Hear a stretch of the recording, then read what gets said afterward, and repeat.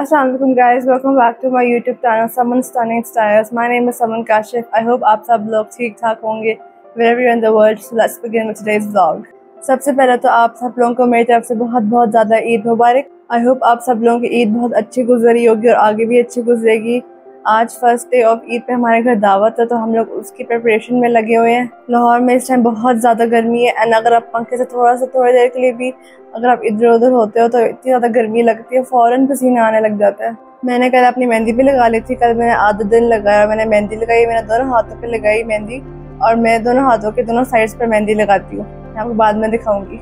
मुझे मेहंदी लगाने में बहुत मज़ा आता है, और मुझे मेहंदी का बहुत शौक है, बचपन से ही। जब भी कोई फ़ंक्शन होता है, जैसे शादी होगी ईद होगी तो मैं अपने लाइक दोनों हाथों के दोनों साइड्स पर मेहंदी लगाती हूँ मैं बहुत सारी मेहंदी लगाती हूँ। तो बहुत मज़ा आता है। अभी रात के ड्रेस के साथ की जो ज्वेलरी वो अभी निकालने वाली मैंने बाल खोले और शायद इसलिए भी मुझे ज़्यादा गर्मी लग रही है। लेकिन बालों को मैं अच्छे से रात को स्टाइल बनाऊँगी। अभी तो वैसे मैंने बाल जो है खुले रखने हैं। रात को मैं इसको अच्छी तरह कोम करके फिर उनका अच्छा सा स्टाइल बनाऊँगी। गाइस ये देखिए मेरी मेहंदी। ये मेरा राइट हैंड है।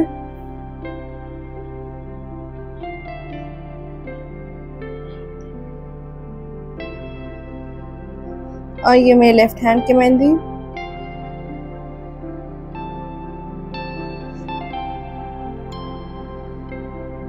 ये सारी मैंने खुद लगाई है, मैं लेफ़्ट हूँ, मैं लेफ़्ट हैंड से ज़्यादा अच्छे सब कुछ कर लेती हूँ। लेकिन अब ओवर द इयर्स मैंने अच्छे से, मैं राइट हैंड से भी अपने लेफ़्ट हैंड पे मेहंदी में लगा लेती हूँ। मतलब मैं काफ़ी बेहतर हो गई हूँ।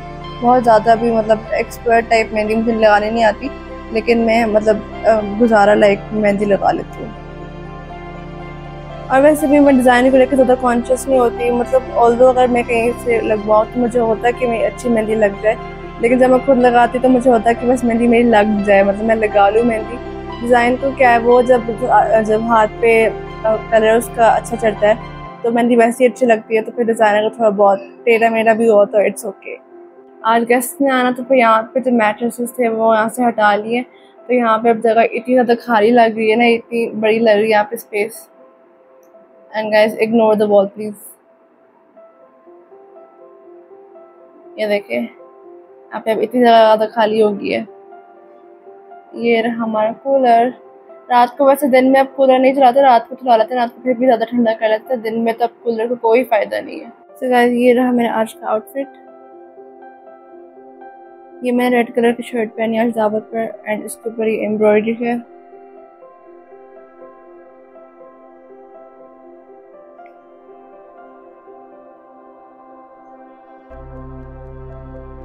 साथ में इसके ट्राउज़र है, इसके नीचे यहाँ पर एम्ब्रॉयडरी है।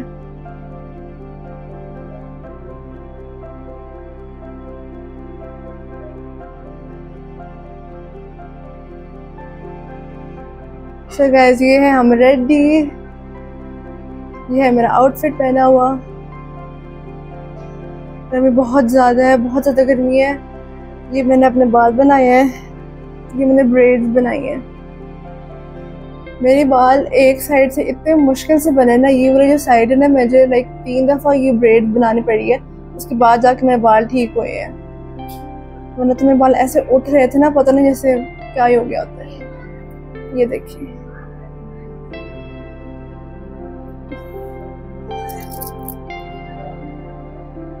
आई एम रेडी मैंने चेंज छोटे सबसे पहले अपने बाल बनाए। बाल बनाने के बाद मैंने अपना मेकअप किया एंड मेकअप भी बहुत अच्छा हो गया।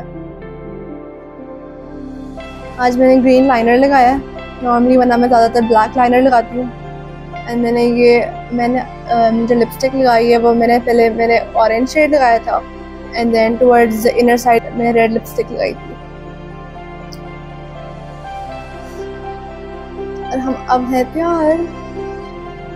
और मैंने ऑरेंज शेड का मैंने ब्लश लगाया हुआ हाईलाइटर मैंने सिल्वर लगाया था। वैसे भी कोई ख़ास मुझसे बहुत ज़्यादा हाईलाइटर की ज़रूरत नहीं है, क्योंकि मेरा फेस ऑलरेडी शाइनी है ऑयली ऑयली फेस है, इसलिए। मैंने pink and red eye shadow लगाया pink in the inner corner and red in the outer corner white मैंने इनर पॉइंट पे लगाया वाटर लाइन पे। अस्कारा कपड़े बदलने के बाद पता नहीं शाम से मेरा एक साइड से सर दुख रहा था, मुझे लगा कुछ ठीक हो जाएगा, लेकिन नहीं हुआ तो उसके बाद मैंने पेन किलर लिया। पैसेंटमॉल पेन किलर लिया, उसके बाद मैं बेहतर हुआ पहले से। अभी भी थोड़ा बहुत दुख रहा है सर, लेकिन चलो कोई बात नहीं, इस साइड से कहीं से दुख रहा था। लेकिन नेवर माइंड ऐसी चीज़ें भी होती हैं।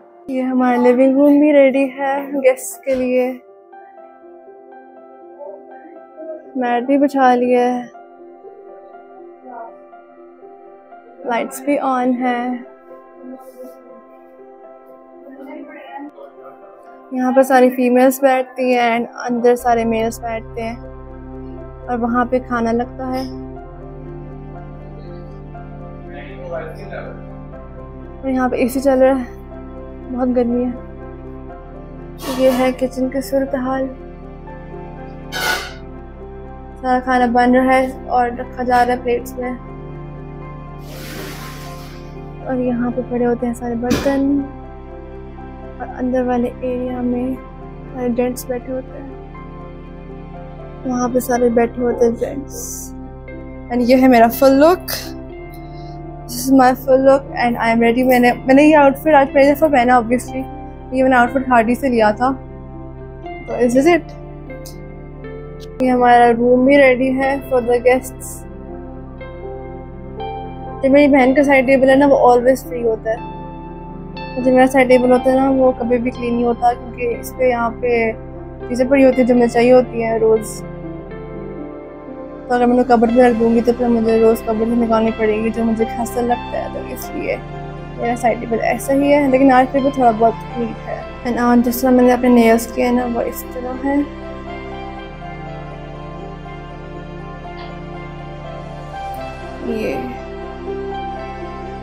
ये पर्पल और ये ग्रीन, ऊपर मैंने red and white shimmery nail polish लगाई है।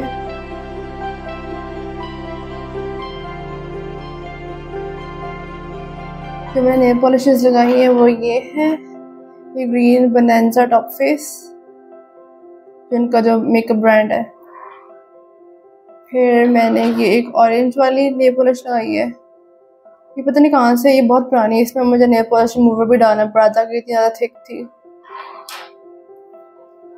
और एक ये पर्पल वाली नेल पॉलिश स्टाइन से, ये भी बहुत पुरानी है, इसके अंदर भी मुझे नेल पॉलिश रिमूवर डालना पड़ा था कि ये भी काफ़ी थिक थी। एंड लास्टली जो ऊपर मैंने ग्लिटरी वाली लगाई है, वो ये वाली है। ये रिमिल से ली थी when I was in England now I will see you guys later कि अब आहिस्ता आहिस्ता सारे गेस्ट आ रहे हैं।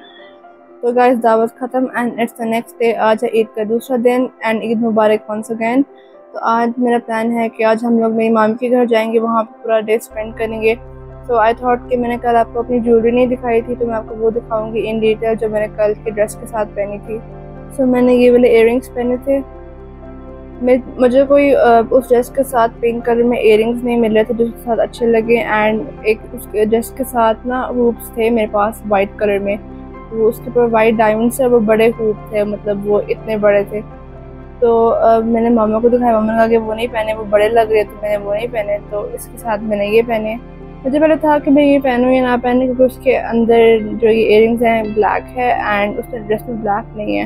लेकिन मैंने कहा ठीक लगेगा रेड के साथ ब्लैक सही लगता है इट्स फाइन एक साइड पे मैंने ये क्लिप लगाया था और दूसरी साइड पे मैंने ये पिंक वाले क्लिप्स लगाए थे साथ। फिर मैंने नेकलेस ये वाला पहना था, उसके अंदर रेड था तो आई थॉट कि मुझे रेड नेकलेस पहनना चाहिए, लेकिन वो रेड सही लग भी रहा था एंड ग्रीन ज़्यादा बेटर लग रहा था। उस ड्रेस में दो शेड ऑफ़ ग्रीन थे तो इसलिए मैंने ये नेकलेस पहना। फिर एक हाथ की फिंगर्स में मैंने इयर पहनी, एक इयर पहनी थी मैंने, और दूसरा मैंने एक इयर पहनी थी। दूसरे हाथ में मैंने एक इयर पहनी थी। एंड फिर मैंने ये तीन रिंग्स एक साथ पहनी थी। ये तीनों रिंग्स मैंने एक साथ इस तरह पहनी थी। तो एक हाथ में मैंने ये चूड़ियाँ पहनी थी, मैं थोड़ी सी कम पहनी थी, मैंने एक, दो ये ऑरेंज वाली निकाल दी थी। जो ये जो ऑरेंज वाली बैंगल्स हैं, ये एक सेट है एंड ये जो बीच में वही जो बैंगल्स इसमें रेड और ग्रीन स्टोन हैं, ये एक और सेट है। फिर दूसरे हाथ में मैंने ये वाली बैंगल्स पहनी थी। ये जो कलर्ड बैंगल्स हैं, ये एक सेट है, और ये जो पर्ल वाली बैंगल्स है, ये एक और सेट है। और ये भी मैंने इसमें भी, इसमें से भी मैंने दो तीन बैंगल्स निकाल दी थी और फिर मैंने पहना था। अच्छा जो मेरी रेड शर्ट थी, वो थी तो वेस्टर्न लेकिन I want to give it eastern look Eid की वजह से। और वो ईद का आउटफिट लिया था तो उसके साथ वो ट्राउज़र पहना था, वरना उसके साथ मैंने लेगिंग्स इनिशियली डिसाइड की थी, लेकिन वो ट्राउज़र जो था, जिसके एंड पे वो रेड कढ़ाई थी, वो ज़्यादा बेहतर लग रहा था। एंड ऑब्वियसली साथ में चूड़ियाँ और ये ज्वेलरी अप की थी ईद की वजह से। So I manage to make it a eastern outfit successfully. So guys, ये रहा मेरा ईद का vlog. If you like the video, don't forget to like and share my video as well as subscribe to my YouTube channel, Summon Stunning Styles. I will see you in my next video. Until then, take care. Allah Hafiz.